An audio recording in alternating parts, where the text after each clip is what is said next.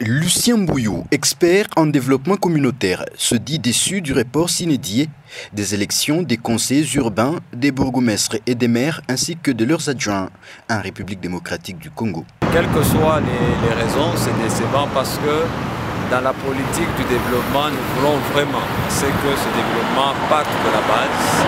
Et quand on dit euh, le développement qui doit partir de la base, c'est un niveau où la population a un niveau de participation très élevé, c'est-à-dire que la population sait mettre sa main à la pâte du développement de son entité. Pour Lucien Bouillou, le report sans délai des élections locales sur toute l'étendue de la RDC ne permet pas une bonne planification du développement au niveau local.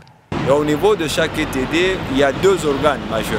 Il y a le, le conseil local de la commune, nous avons le conseil communal et nous avons le collège exécutif.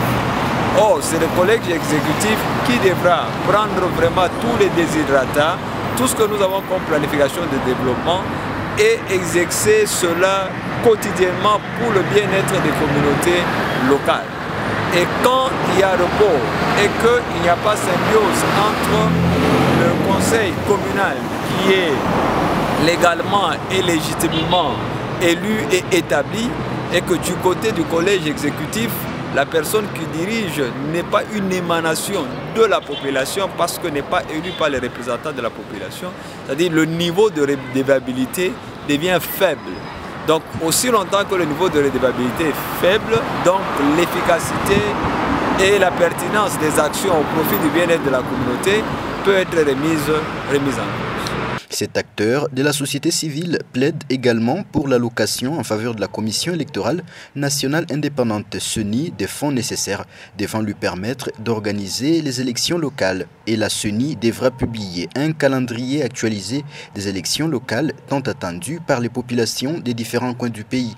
Conscientiser, mener un plaidoyer pour que cette instance qui ne vit, qui ne fonctionne qu'avec les moyens de la population congolaise, parce que c'est nous qui sommes les contribuables, c'est nous qui avons besoin de ces élections, parce que nous voulons à ce qu'il y ait une gestion de proximité, de manière à ce que nous puissions booster le développement déjà au niveau de la base et que, que nous puissions accroître l'accès des populations aux services sociaux de base. Donc euh, que cet organe puisse se hâter, prendre ses responsabilités, mobiliser les moyens quelles que soient les raisons que ces élections soient, soient organisées et nous aurons vraiment un développement qui pourra impacter les populations.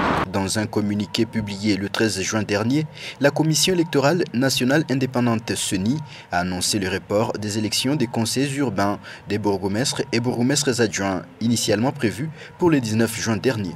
La centrale électorale justifie ces reports par des contraintes d'ordre financier. Entre-temps, les candidats bourgmestres et conseils urbains attendent toujours la décision de la CENI.